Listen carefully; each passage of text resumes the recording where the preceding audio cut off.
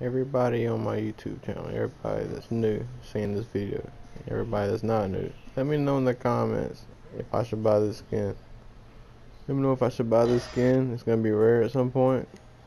I feel like it is. Get this video to 20 likes if I should do so. If not, let me know in the comments why. You know I'm all about rare skins. If I get this skin, I'll do a minty pickaxe with scenario emote with this video. If y'all like it. But anyways, make sure you hit the like button, hit that sub button. Let me know what y'all think.